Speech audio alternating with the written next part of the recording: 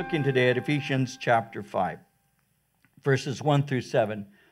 And so, what I'll do is I'll begin reading here at verse 1. I'll read verses 1 and 2, give you a, as I normally do, a prolonged introduction, lay a, a groundwork for you, and then we'll move into the verses before us. And we're only going to cover up to verse 7. And the reason, uh, part of that reason is, is because um, on the 25th of this month, a couple of weeks from now, um, I have a, a surgery scheduled uh, where they're going to be giving me a, a, brain transplant. I'm looking forward to it very much. It's about time.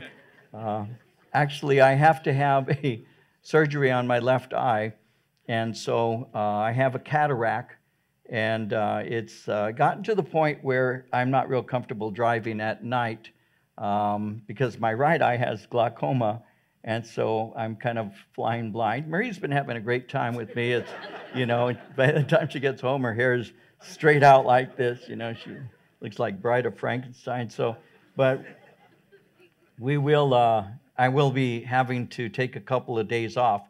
And uh, they had the, the surgery, the, the closest surgery time that they could give to me is on a Wednesday.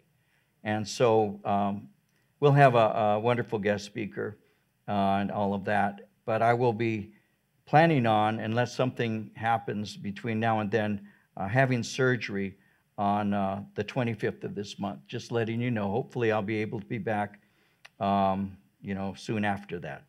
As a matter of fact, I should be able to be back within a couple days, but I can't that day. So there, I said it. So let's begin reading together. Ephesians chapter 5, verses 1 and 2. Paul writes, Therefore, be imitators of God as dear, as beloved children, and walk in love as Christ also has loved us and given himself for us an offering and a sacrifice to God for a sweet smelling aroma. So we're looking at, since chapter 4, what has been called the walk of a believer. I mentioned to you that when we began to look in chapter 4 at the believer's walk, that the word walk speaks of a lifestyle. When you see, when you see the word walk in reference to the way, uh, in reference to Christians, and it speaks concerning our walk, obviously that speaks of our behavior. Uh, in Scripture, the idea of ordering our steps or walking carefully is often spoken of, and that's because believers are to live in a way that is aligned. It's aligned with the will of God.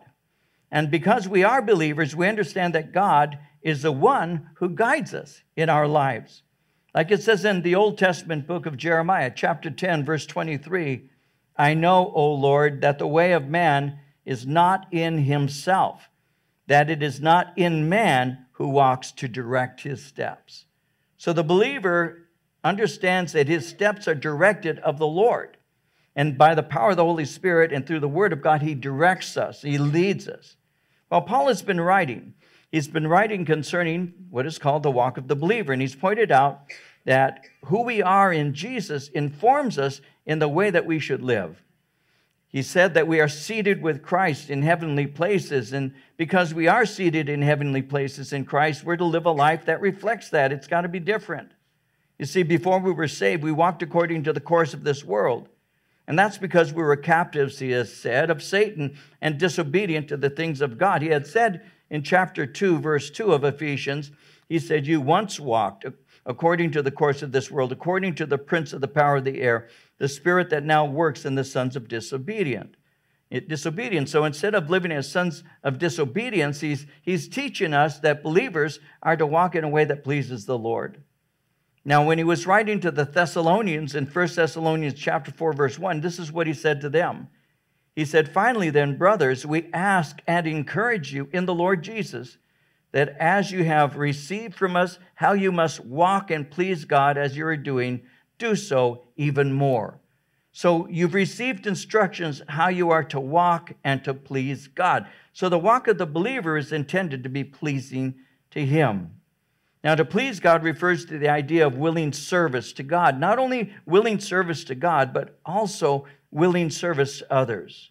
It pleases God when instead of serving ourselves, the Bible teaches that we actually enjoy serving Him as well as serving other people. And because we desire to please God, believers will have a different kind of life. So, Paul had gone on here in the book of Ephesians to give identifying marks of the one who is walking with God. He had said in chapter 2, verse 10, that the believer, because who they are in Christ, will walk in good works. In Ephesians chapter 4, verse 1, he said, The believer, because of who he is, walks worthy of the calling.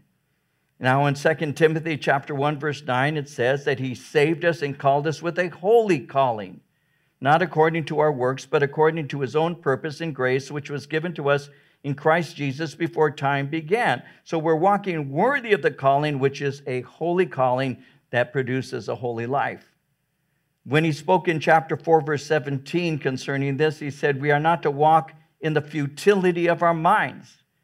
That's because we once were in spiritual darkness. We were living in an imaginary reality, but God had illuminated us and we no longer are walking in darkness, like it says in 2 Samuel 22 29, where it says, You are my lamp, O Lord, and the Lord illumines my darkness. So we no longer walk in the futility of our minds in an imaginary reality. As we continue on in Ephesians 5, you'll see in verse 8 that uh, believers are light in the Lord's. And so he says, So walk as children of light. Again, we who once lived in darkness are now children of light. And Philippians 2:15 says that you may become blameless and harmless children of God without fault in the midst of a crooked and perverse generation among whom you shine as lights in the world. So God's calling to us in our walk is to actually illuminate, to, to walk in his light and to actually expose by our lifestyles. And we'll see this uh, as we continue through chapter 5 we, we illumine, we reveal, we actually uh, are able to expose the works of darkness by the life that we live. When we get to verse 15, uh, chapter 5, verse 15 of Ephesians tells us we walk, and this is an interesting word. I don't know if you used this word today. I didn't. I'll use it right now circumspectly. Most of us didn't walk, a, you know, walk up to somebody this morning saying, uh, I'm going to get a cup of coffee. And by the way, are you walking circumspectly? That's not a, a word that we use very often. But when you use that word, and again, when we finally get there next week, hopefully, um, the word circumspectly is an interesting word. It, it, it actually uh, speaks of being on the alert, walking carefully, being aware of your surroundings. You're walking aware of those things. You're alert, but you're also walking in an accurate fashion. You're aware of dangers. So you live properly and you live wisely. We'll look at that next time we're together. Well, here in chapter 5, verse 1, as we just read, we are commanded to be imitators of God. And we're to, notice what he says, we're to, in verse 2, walk in love. And so we'll be looking at that today. In chapter 4, Paul described the life of a real Christian, a genuine believer. In chapter 4, he said we walk in humility. He said we walk in gentleness. We walk in long suffering. He said Christians lovingly bear with one another. Christians do our best to keep the unity of the Spirit in the bond of peace. In chapter 4, he said, Remember, you are united, both Jew and Gentile, in Christ, and therefore you're one. So exercise your spiritual gifts. And through proper teaching, you are being equipped for works of service. He said, Avoid false teachings, speak the truth, but do so in love. As we looked at that chapter, he said, We are part of the body of Christ. And because we are equipped by the Word of God and the Spirit of God, we're to do our share. He said, We've been taught the truth because the truth is in Jesus Christ. And because we've been taught the truth, it's changed the way that we live. So we put off the old man. We're renewed in the spirit. We've been created in true righteousness, created in true holiness. That's changed our lives. We no longer lie to one another. We no longer give in to improper anger. He said we no longer steal. The way that we speak has also been transformed. We don't use profanity. We don't use improper speech. We don't use sexual innuendo. Instead, we speak words of edification. We impart grace to one another. And this grace that fills our lives makes it possible to share the gospel with others. In Colossians 4, verse 6, he said it like this Let your conversation, speaking of your way of life, be always full of grace, seasoned with salt, so that you may know how to answer everyone. So instead of bitterness that leads to malice, believers put on kindness. We become tenderhearted. We begin to forgive one another, and that's because God in Christ has forgiven us. All of this goes into the introduction of chapter 5, verse 1, because as he has been sharing all of these things, he has now come to this point where he says in verse 1 of chapter 5, Therefore, because in light of all of these things, therefore be imitators of God as dear children. Since God has forgiven us of all of our sins, we are to imitate him. When he says be imitators, that word imitator in the original language actually speaks of someone who mimics. It speaks of imitating his actions, mimic his actions, mirror his actions, mirror his actions, his speech, and his motivations. Now, sometimes our kids reveal the depth of their love for us when they say things to us that have a personal content. I think that as a father, any father in this room, or perhaps as a mother, any mother in this room, would be blessed if, if your father, if your son approaches you one day and says to you, Dad, I want to be just like you. Now, if your son walks up to mom and says, I want to be just like you, you got a problem. But if he, if he comes and says, Daddy, I want to be just like you, that's a good thing, right? That's a good thing. Dad, I want to be like you. But I think most of us as fathers would probably respond with joy that, that perhaps I've impacted my, my son. But I've always been the one who says, I don't want you as good as me, I want you better than me, because that's what a father's heart for a child should be. Don't be like me, be better. And if the, the little girl approaches mama and says, Mama, I want to be just like you, that's a compliment. And that ought to also be something that inspires the mother to live a life that that little girl can mimic so that she can be a woman of God, a woman of prayer, a woman of virtue. Those kinds of things, you see. One of the saddest things that I ever have heard is when I was speaking to a young man. Is this happened just a few years ago? And, and he was sharing his heart with me, and he was sharing with me about his dad. And I'll never forget this. I, I thought of this as I was putting together this, this message. I wrote it down. And I'll never forget how, when he was speaking to me, he said to me, I don't want to be anything like my father. Just to hear those words coming from that son. And I had known that son since he was a baby. And I had known his family for all of his young life. And then for him to say to me on the phone, I want you to know that I don't want to be anything like my father. That was one of the saddest things that I think I've ever heard because a son ought to want to be like the father. The father ought to be the kind of father that makes a son want to be like him. Well, Paul is saying to us, God is your father. And as his children, imitate your father.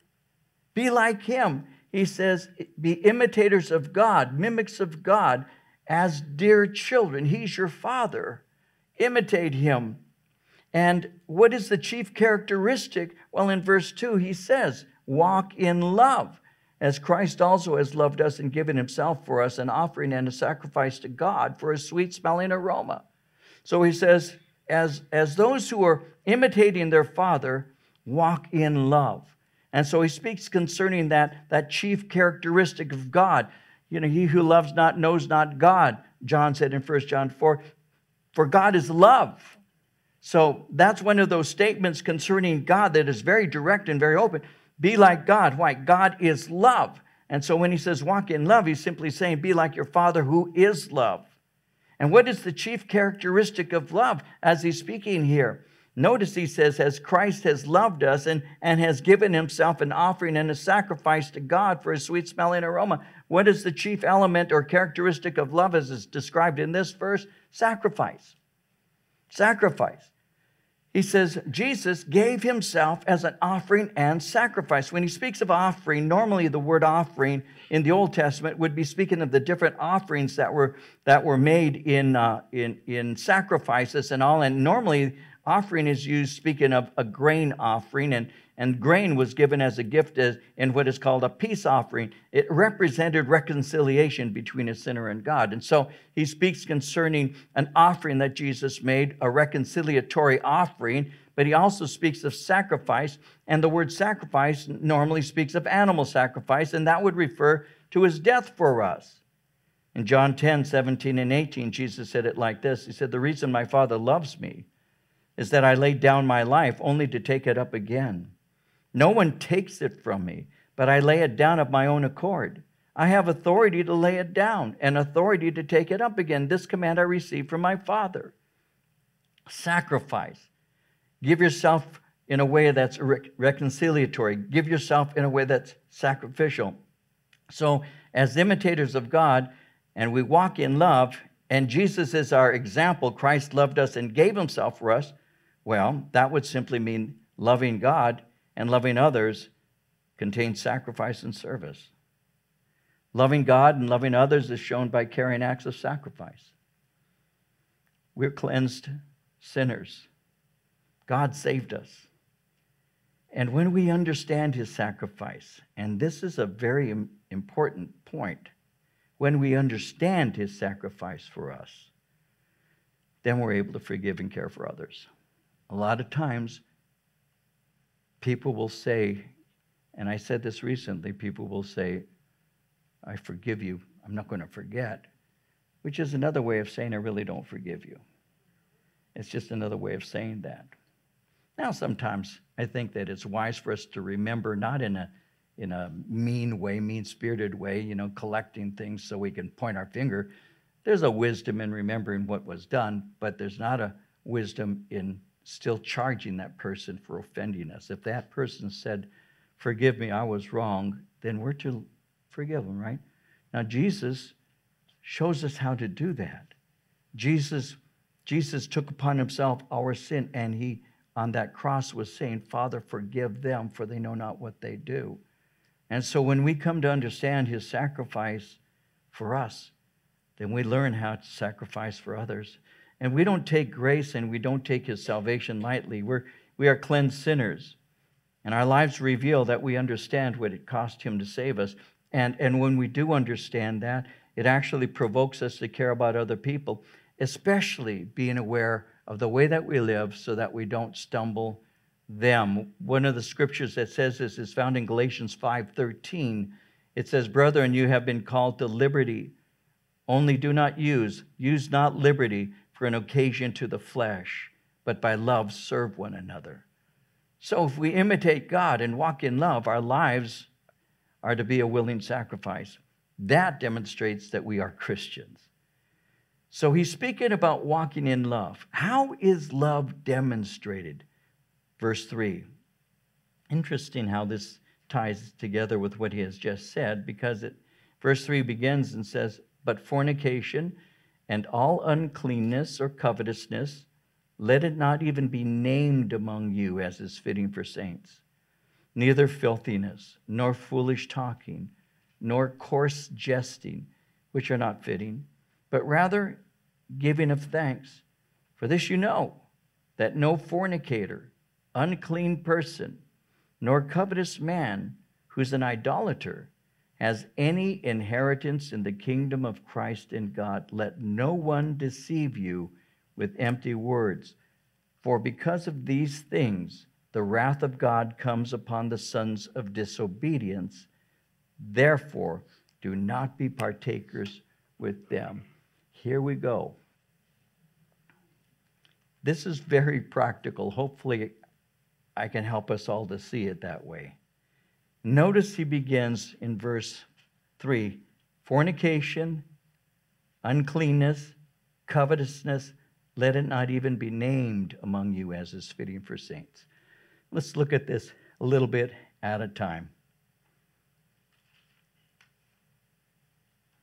Well, if Christ's love is our model, if we're imitators of God, And the model of Christ of sacrifice becomes part of the way we express ourselves, serving and sacrifice. Then there are certain things we won't do. We aren't going to take advantage of somebody else. We're not going to use somebody else for our own pleasure.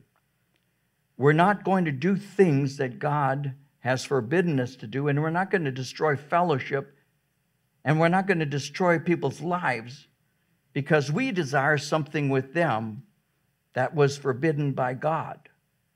Fornication, uncleanness, and covetousness is not even to be named amongst us. So if Christ's love is our model, we're not going to use the world's model of love. Remember that the world's kind of love is often expressed in a sexual way. We're not to succumb to this kind of sin. Why is that? Because we now live in a, a family, a community of believers.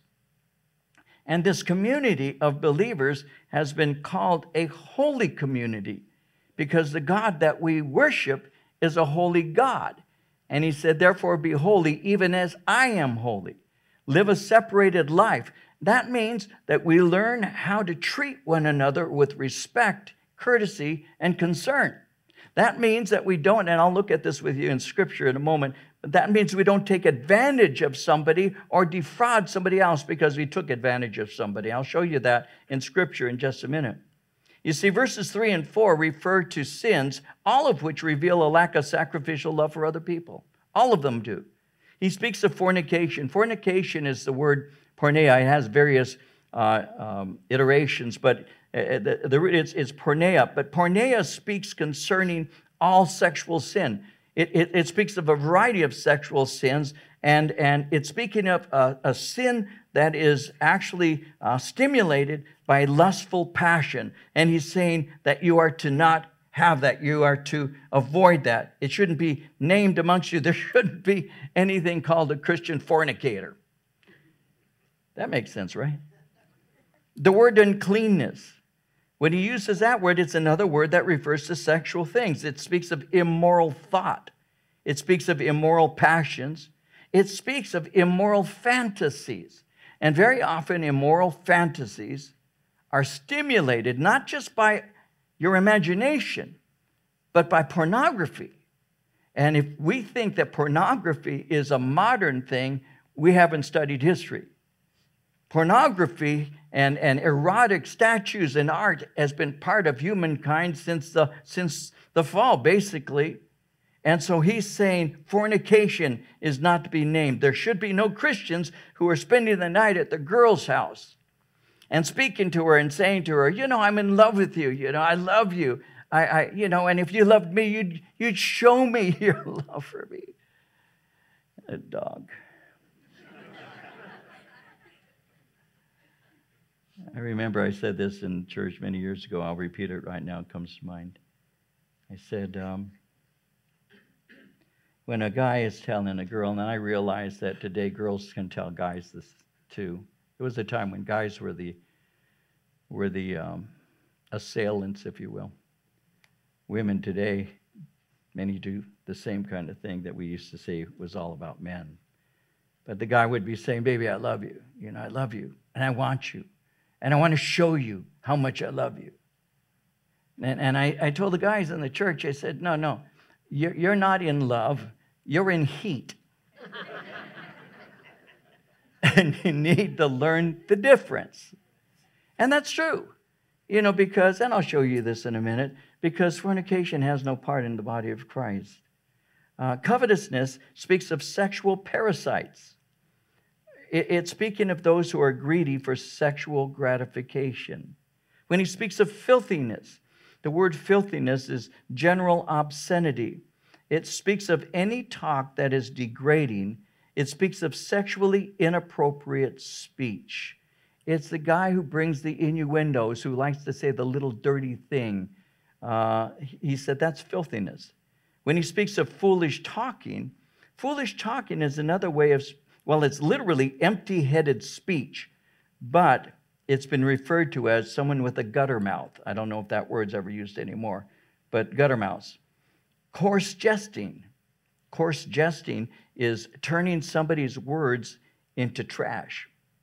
It's, it's suggestive speech. You see that very often uh, um, in, in, with comedians. They, they use their wit to say improper things. Well, as this is being spoken, and, and, and ask yourself if this is something that perhaps the Lord might be speaking to us as believers, these kinds of things.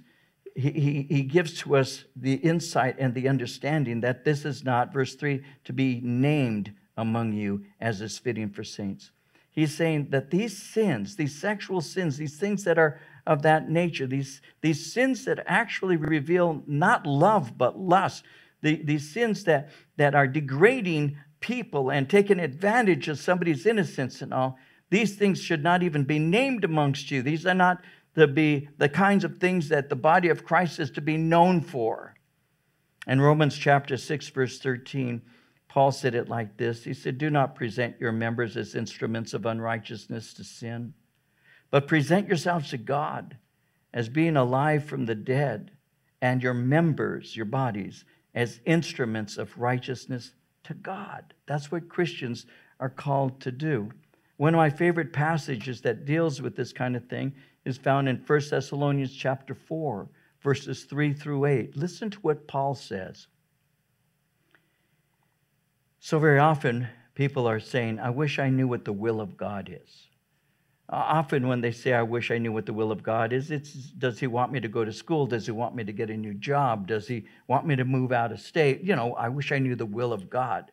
Well, here's the scripture that gives to us the will of God 1 Thessalonians 4 3 For this is the will of God, your sanctification, that you should abstain from sexual immorality that each of you should know how to possess his own vessel, speaking of his body, in sanctification and honor, not in passion of lust, like the Gentiles who do not know God, that no one should take advantage of or defraud his brother in this matter, because the Lord is the avenger of all such as we have forewarned you and testified. God didn't call us to uncleanness, but in holiness. Therefore, he who rejects this does not reject man, but God who has also given us of his Spirit. So, a young man is dating a young woman. They both profess themselves to be Christians. They both say they love the Lord, and perhaps they both serve God, and, and they're genuine in their faith. And so they're dating, and they make mistakes. I'll, I'll be going through uh, marriage in the family pretty soon, and probably uh, share a little bit more about this. This is just a thought that comes to me as I'm, I'm sharing with you. And so,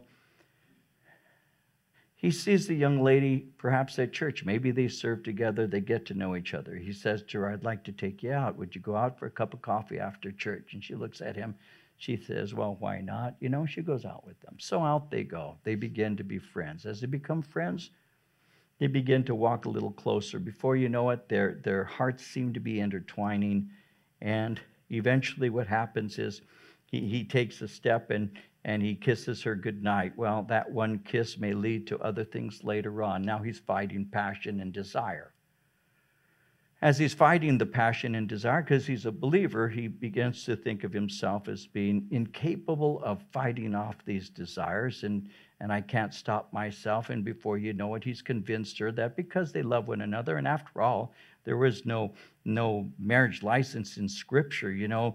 Love is true love. You don't need to have a pastor perform a ceremony. We can say before god our vows and we can have relationship. Why can't we? And she agrees with that thinking that that may be okay. I'm not quite sure. He's been a christian longer than me. Maybe he knows what he's talking about. And then they enter into an improper relationship you know when these guys say you know i slipped and fell and I slipped and fell into sin. right. You were walking by the bed and tripped and fell in it. Right. I, I, I believe that. Yeah. No, you didn't. You made, you made plans because your body began to let you know before the act that you were moving in that direction. So don't try and convince me that you didn't know or you slipped and you fell. You knew where you were going. You just chose to continue. Then you blame her because you say, well, she didn't stop me. See, so that, that you know, I'm an old man. I've heard a lot of things. And so, with that said, as they um, have they ventured into that relationship, she gave herself to the guy. but they're convicted. It was wrong. We've got to get out of this. They repent, God forgives him. He moves on, goes to a different church, he stays, whatever. Then one day, a young man comes to church. He sees that young lady. And he says, Would you like to go out for coffee? And she says, I'm not sure if I can do something like that. Because in her heart, she's still hurting over what happened. But he treats her like a lady. He loves her, he honors her, he cherishes her. He doesn't make improper advances, he doesn't use sexual innuendo, he doesn't take her places that they ought not to go. He walks her to the door, gives her a kiss on the cheek, or maybe not at all. She goes in the house, she's safe with him. For you know it, she's in love with him because he treats her the way she wanted to be treated all along. He treats her as a lady, as a prized possession. And then one day he says to her, I'm in love with you and I want to marry you. And she says to him, I'm in love with you. Do you have anything you need to share with me that will help me to understand where we're at together now? And the young lady says, Well, I had another guy in my life. This is what happened. And the guy, he loves her. He, you know, he said, Well, you know, it's under the blood. You know, I love you anyway. You know, and I want to be the man you should have. And she is so touched because the guy cares for her like that. But this other Christian, the one who took advantage of her, defrauded his brother. Because the one who took advantage of that young lady took from her husband that which belonged to him. That was her purity. That's what Paul is talking about. You should not defraud your brother. What do you mean? You're taking from him that which does not belong to you, it belongs to him. And when you have an improper relationship, you're taking from the people who should be the one flesh and you're interfering in the work God wants to do in that relationship because the sin that was performed is forgiven, but sometimes the scars stay for a long time. Now, some women don't have scars, and some men don't either because they say, Praise God, I've been washed, and bless the Lord. But others have a tender heart and a tender spirit. It's one of the reasons why Christians should not take advantage of other Christians. That's one of the reasons why a husband, a young man, should be very careful in his dating relationship as well as the young lady. My sister in law, Patty, Marie's sister, Patty, Patty met a young man and brought him to this church. He gave his heart to the Lord. I don't remember if he gave his heart here or had given his heart to Christ and she brought him to church. But she, Patty's not just my sister in law, Patty's to me my sister. I mean, I love her like my own blood. I love her. She's very dear to me. And Patty was speaking to me, and she, she had grown to love this man, and, and uh, she told me she wanted to marry him. And he had asked her to get married. And as we were talking, she shared something that I was able to share on their wedding day. And it was this in their entire dating relationship, they never kissed. The first kiss that she ever had from Matthew was when he kissed her, and I had pronounced them husband and wife. You may kiss your bride. And I said, briefly.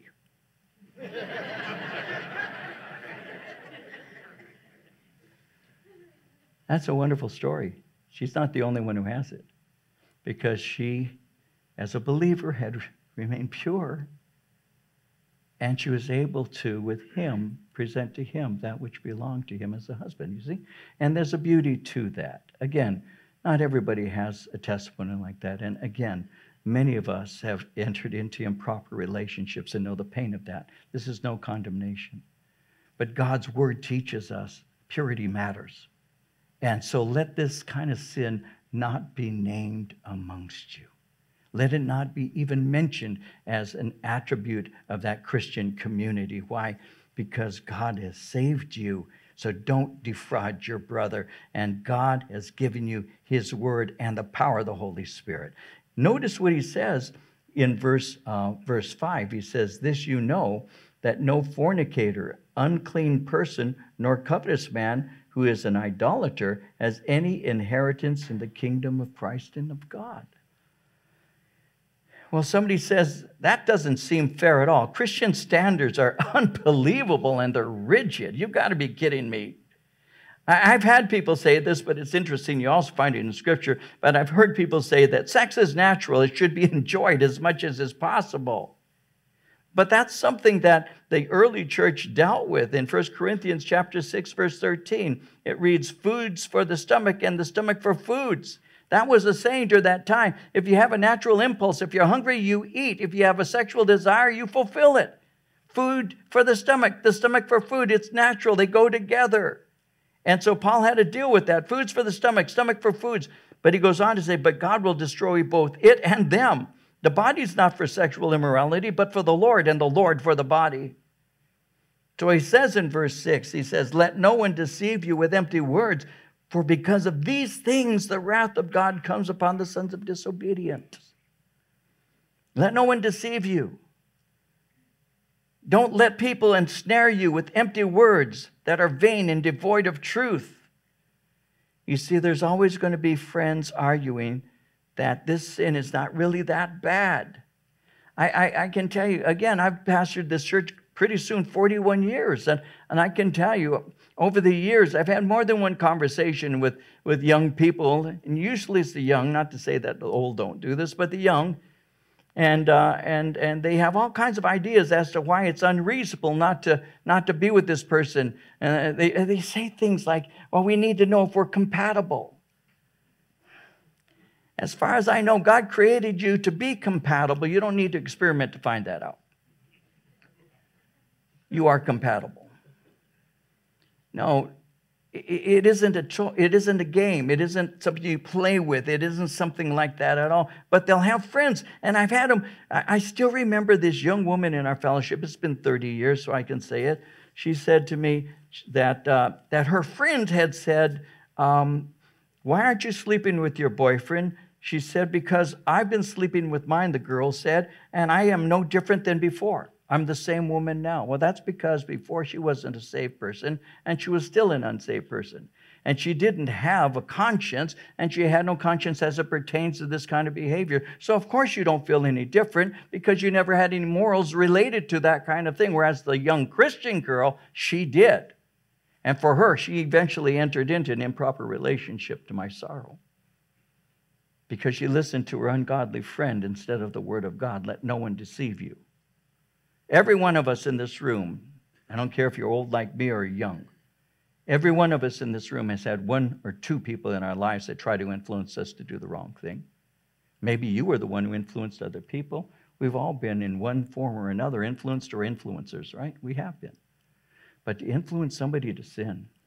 I remember this young woman who had, had shared how that she had a friend who was saying, Go ahead and do it. You'll be no different. I've been doing it and it's no problem with me at all. I don't feel any different. And the young girl who was a virgin who didn't do anything said, You know, anytime I want, I can become like you, but you can never again become like me. And I thought that was wise because it's true. I can become like you, but you never again can become like me. And you enter into improper relationships God created us, male and female, to replenish the earth, to populate the earth. And he did so, one of his intentions, that he might have godly offspring. His desire was proper relationships in marriage where the husband and the wife worship him and raise children to do the same. And so that happens when you value who you are as a Christian, the temple of the Spirit of God and the Spirit of God dwells in you.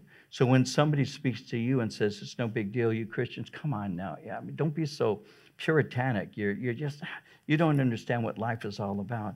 Well, no, that's, that's not true. We do understand. And when God warns us not to do something, we're very careful to, to heed his, his counsel. My mama used to teach me to stay away from fire for a good reason. Fire burns. And yet, I've shared this before. Some of you haven't heard this, so I might as well say it. It comes to mind. Uh, my mom was a smoker until she got saved. My mom smoked for over 40 years, and then she got saved and never, she gave it up. The Lord took the desire for cigarettes from her. It was a real testimony of how the Lord had changed her life. But my mom used to like to smoke, and because I, I, I liked my mom, I thought my mom was cool, especially when she put these long cigarettes in her mouth, would turn on the fire, the burner, and she would put her mouth there, and she'd my mom would you know, just take a hit off that, and and the, and it would turn bright red, and then the smoke would waft into her eyes, and she'd kind of have these heavy lids. And my mom was so cool. At least that's what I thought. I said, wow, mom, you you were so cool. And so so I, I wore a pompadour, and I used to spray my hair with with uh, Aquanet and. Uh, that's a blast from the past. And and so I had this 53 Hudson kind of hairdo right here. It was all round and everything. And I had this cigarette and I turned on that burner because I smoked and I, I turned on the burner and, and it caught my hair on fire. I'll, I'll never, it, it just went up like that. I had the first afro in Norwalk. It just, it just went like that. So I learned at an early age that my mom was not trying to, to make my life hard. She was trying to protect me from something stupid. And so when God says to us, don't do this, it's not because He's making our life difficult. It's because He's preserving us from pain. It's because He wants us to be like Him. You know, somebody once asked me, they, they said, um, they said, they, well, they actually said this to me. I was on the phone with them, they were speaking, and, and she said this. She said, My friends say that the blasphemy of the Holy Spirit is the unpardonable sin. And because the blasphemy of the Spirit is the unpardonable sin, that means I can live, this is an actual conversation, that means I can live with my boyfriend and still go to heaven because I'm not blaspheming the Holy Spirit. I'm only sleeping with him. Well, someone who continues in sexual sin is revealing something about their spiritual state. In 1 John 3 9 and 10, John said it like this He said, No one who is born of God will continue to sin because God's seed remains in them. They cannot go on sinning because they've been born of God. This is how we know who the children of God are and who the children of the devil are. Anyone who does not do what is right is not God's child, nor is anyone who does not love their brother and sister. So when somebody uses quote unquote, the grace of God as a cover for their sin, they're revealing they don't know what the grace of God is. John says you cannot continue in sin. That doesn't mean that you're going to be sinlessly perfect. It means that that lifestyle is not your lifestyle. You, you will. We all fail. All of us do, especially John. We all fail.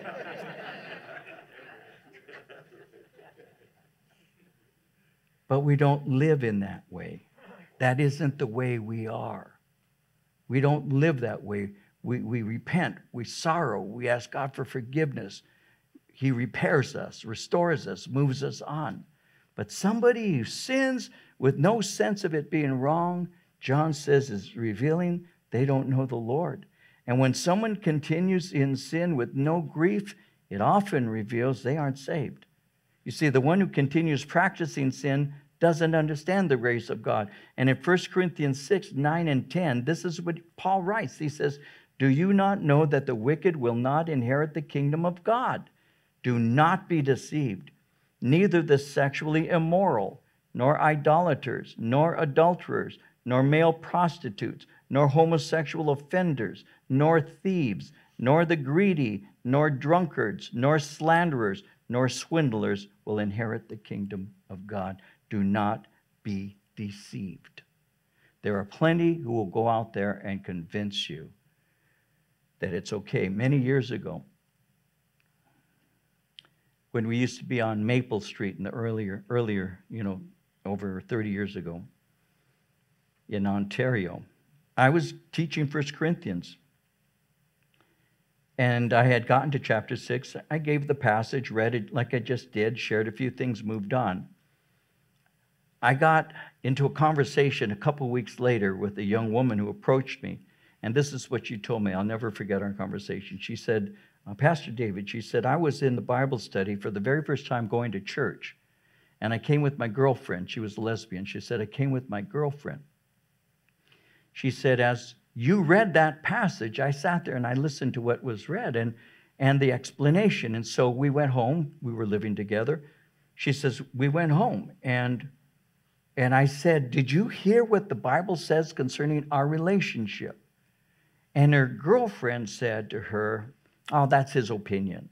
That's what he's thinking. That's, that's outdated. That stuff doesn't pertain to today. But this young lady began to think, and she read it again. She said, I read it. I started thinking about it. I read it. I thought, it seems pretty clear to me. It says that, they won't inherit the kingdom of God. And we were uh, practicing uh, same sex uh, relationship. She said, it seemed pretty. She says, I want you to know what I did. I said, What did you do? She says, she says, I gave my heart to Christ and I moved out of the house because I want to follow Jesus Christ because I don't want to be deceived. I want to be in the kingdom of God. You see, the truth does set you free. So many times people say, oh, no, once they're that way, always that way. That's simply not true. God can make you into a new creation. Old things are passed away. Behold, that's a wonder, he says it. Behold, all things become new. You, you may have one time been, but you are no longer. You might have been an angry person, but you're no longer. Why? The Spirit of the Lord is upon you. You have the joy of God. You were an alcoholic at one time, but no longer. Why is that? Because you're not drunk with wine. There's excess in that, but you're filled with the Holy Spirit. And I don't need that anymore. You must have been, one time you were filled with hate. You were a violent person, but now you have peace and joy. Why? Because God made you into an entirely new person. See, that's what the gospel does. And that's why we have to be careful not to be deceived. God can change any life. He can. When you yield to Him, remember this your spiritual advisor is not always your pastor, it may not even be your parent. Your spiritual advisor often is a podcast influencer or it's your best friend. So be careful who you allow to influence you in your life. In Psalm 1 1 and 2, it says, Blessed is the man who walks not in the counsel of the ungodly, nor stands in the path of sinners, nor sits in the seat of the scornful. His delight is in the law of the Lord, and in his law he meditates day and night. Now, you can become compromised and you can become vulnerable to the draw of sin, kind of like Abraham's nephew Lot. In 2 Peter chapter 2 verses 7 and 8, Peter writes that God delivered righteous Lot, who was oppressed by the filthy conduct of the wicked, for that righteous man dwelling among them tormented his righteous soul from day to day by seeing and hearing their lawless deeds. He entered into a place of compromise and ended up in Sodom.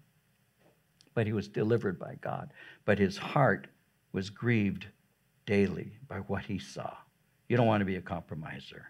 Therefore, verse 7 do not be partakers with them. Do not fellowship with those who speak and live in this way. Do not be influenced. Why? Well, the Bible makes it clear 1 Corinthians 15 33. Do not be misled. Bad company corrupts good character. You become like the ones you fellowship with. We'll close with one last thought. Remember, Many have discovered this sexual sin is, is bondage. And Jesus said that whoever commits sin is a servant of sin. So the servant abides not in the house forever, but the Son abides forever. If the Son therefore shall make you free, you shall be free indeed. Like any other sin, Jesus can set you free from it. You admit it. Like Peter said, in Luke 5 8, Peter said to Jesus, Depart from me, I'm a sinful man. Oh Lord, admit it. Confess it. If we confess our sin, He is faithful and just to forgive us our sin, cleanse us from all unrighteousness. Repent from it. Revelation 3:19 As many as I love I rebuke and chasten therefore be zealous and repent. Seek God for power because God said he would give us of his powerful Holy Spirit. And and and remember your spirit may be willing, your flesh is weak, so you need the power of God. And then finally, seek fellowship and accountability. I discovered, and I'll close with this last thought, as a young believer, how easy it is for me to live one way in front of people in church and another way when I'm by myself. I discovered that I discovered that as a young believer. how easy it was for me to appear in one way when in fact my heart was somewhere else. And so for me, what happened, it was biblical, is I came to realize I need accountability. I need somebody in my life, a friend or a brother, who can I can be honest with. That I can say, I'm dealing with something, I need your prayers. One of the things that I think many people in churches like this, one of the things that they deal with is the fact that they isolate themselves, and when they isolate themselves, they're more prone to fall and to fail. Get involved, get in a group, become part of the women's group, become part of the men's group serve the Lord, have fellowship with men, develop relationships. I am telling you, and I wish I could tell you more about it, but I'll tell you this. It was when I began to develop relationships with fellas, with the guys, that I could be real with and honest with. That I could say, This is where I'm at. Please pray for me. That my life took a turn for the better. When I was alone, I could hide things. But when I had friends I was accountable to, I couldn't. And that helped me to develop the self discipline that was necessary for me to be able to walk with the Lord and have integrity. Because integrity is often measured not by the things one does in front of somebody, but the things they do when they think no one's watching. And so for me, I have asked the Lord to help me to act as if people are watching me at all times. That my life is real so I can have a real integrity, not just the facade or the appearance of it. Develop friendships, develop prayer partners. Have somebody that you know in your life that you can call and say, Listen, I don't want to go into details. I'm struggling. Can you pray for me? I am telling you, God has used that in my life. And all these years, for so many, I've been able to walk straight with Him because I fear him, but I have loving brothers too. And the number one thing in my life is I want to be, and this is the truth, I'll close with this, that's the truth. I want to be the man this woman deserves, my wife deserves. She deserves the best man. I want to be that man. That's the truth. That's the truth. I believe my wife deserves the best man. I will be that best man because I don't want her to ever think she should have married somebody else. I want her to be happy with the one she married. So I live in such a way that I will be her, her hero. I will be that man because that's what really matters. Everything else flows from that. I don't want to be a hypocrite. I want to walk with integrity. And I don't want to be guilty of the sins that we're to avoid. Father, I ask that you would work in us.